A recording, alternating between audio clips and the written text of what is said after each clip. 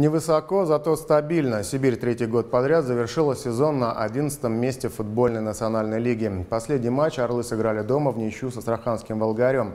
Об этой встрече и итогах сезона в нашем сюжете. Последний матч футбольной Сибири в этом сезоне принимаем одного из лидеров ФНЛ – Астраханский «Волгарь». На трибунах, как и на всем протяжении чемпионата, немноголюдно. Только 600 зрителей пришли поддержать свою команду. Интерес к большому футболу в Новосибирске невысок. Клуб показывает не те результаты, которых от него ждут болельщики. Вот и в заключительном матче новосибирцы удержали лишь ничью. Аслан Дышеков в первом тайме вывел Сибирь вперед, однако гости во втором сравняли счет, реализовав пенальти. Настрой всегда у нас был только побеждать, особенно дома. Мы с Тосна также упустили на последней минуте. Сейчас дома все время пенальти нам бьют. Я не знаю, с чем это связано. Сомнительные пенальти. Вот сейчас тоже вроде Чеботару лежит, не трогает. Говорит, сбил пенальти. Не знаю, ставят все время дома пенальти. Когда пропускаем, нам надо уже отыгрываться. Начинаем вперед все бежать. И получается нервозная игра, качели туда-сюда.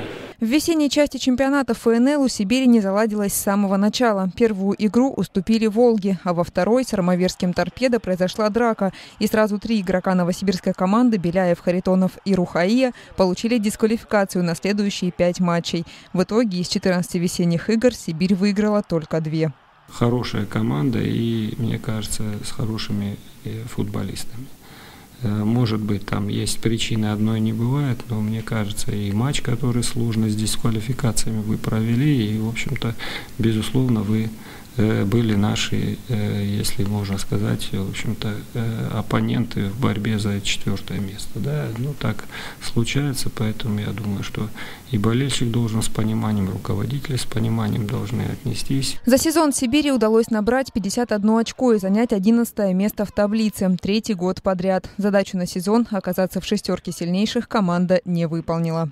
Сложно было, и нас некоторые команды обошли в том плане, Э, что, э, ну, честно говоря, э, скажу, что, опять-таки, эмоциональный фон, который был в этих командах, он был несколько выше, потому что где мы могли этих очков набрать, она бы их, если мы очков еще 9 взяли, 9, это как раз зона почти стыков, это как раз решение задачи которых мы не набрали. Вот 9 очков мы не набрали, которые решили бы нам нашу поставленную задачу.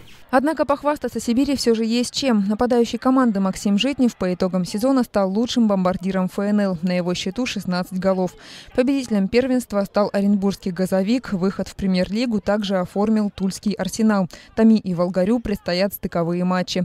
В свою очередь московская «Динамо», проведя крайне неудачный сезон, спустилась в ФНЛ. И в следующем году Сибири предстоит сыграть играть с этой легендой российского футбола. Маргарита Онникова, Константин Бухтатов и Алексей Баженов. Новости УТС.